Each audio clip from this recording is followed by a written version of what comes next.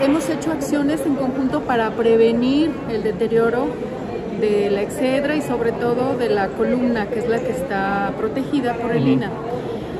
Eh, el INA hace dos meses, en conjunto con Obras Públicas, hicieron un compuesto, una pasta que la esparcieron, la aplanaron en toda la excedra, en las gradas, en la columna misma.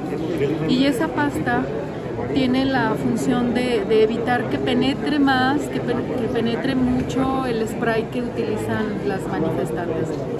Yo creo que eso nos está ayudando mucho porque eh, afortunadamente fue mínimo el deterioro o las pintas que hicieron ayer y entre la noche y ahorita en la mañana ya estamos casi por concluir la limpieza y creo que funcionó de en gran medida esa pasta que se puso, esa pasta de manera preventiva. ¿no? Hasta donde tengo información, únicamente en las gradas y en el piso mismo del Excedra, aproximadamente unas 10 pintas que son en las que estamos ahorita trabajando. La parte esta de arriba que permanece pintada desde marzo, eh, ¿se va a restaurar o así se va a dejar ya? Por lo pronto, eh, así se va a quedar. El, el INA es quien nos que le buscáramos otra manera de limpiarlo porque está protegido y que ellos con sus procedimientos y sus evaluaciones han determinado que no entremos a tratar de limpiar para no dañarlo.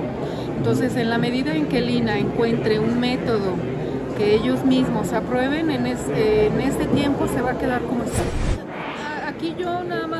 con mi trabajo. Yo si lo puedo limpiar y no hay un inconveniente como en el caso de la columna, pues yo entro y limpio, como cualquier otro espacio público que hay, las calles, las avenidas, las esplanadas, nosotros entramos y limpiamos.